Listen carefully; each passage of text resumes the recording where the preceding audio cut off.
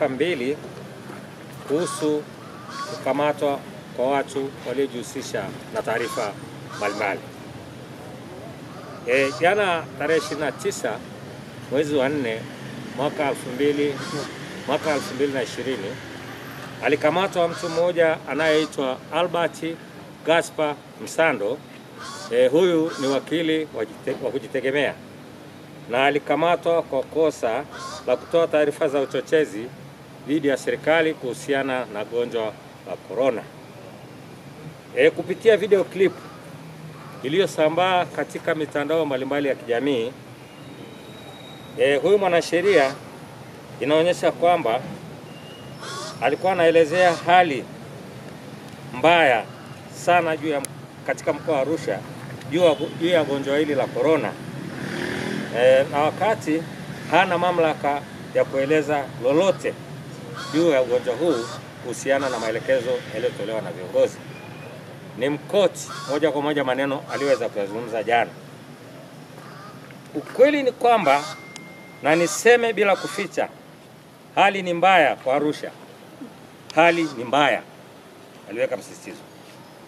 Na ndugu waandishi, nyinyi lazima mfike mahali mweke miguu chini, mseme ukweli, ili wananchi, serikali na kila anayehusika atambue kwamba tupo katika hali mbaya ambayo kila mmoja wetu anapaswa kuchukua hatua. Mkirudi nyuma na kuogopa kusema tutazikana. Mwisho wa kumnukuu wakili Albert Gaspar Msando. Hali hii ilitoa wakati mgumu wakati anazungumza na waandishi wa habari kwa wananchi waliokuwa wanasikiliza. Kauli hii aliitoa wakati anatoa vifaa vya kujikinga na haya maradhi ya korona e,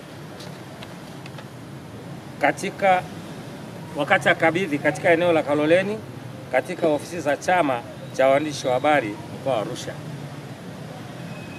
Aidha, ikumbuke kwamba serikali ilitoa maelekezo kuwa wenye mamlaka ya kutoa taarifa juu ya ugonjwa huu wa korona ni Mheshimiwa Waziri Mkuu, Mheshimiwa Waziri wa Afya, Maendeleo Jamii, Jinsia, Wazee na Watoto na mganga mkuu wa serikali. Hili ni tamko ambalo kila mwananchi analielewa na anatakiwa aliheshimu.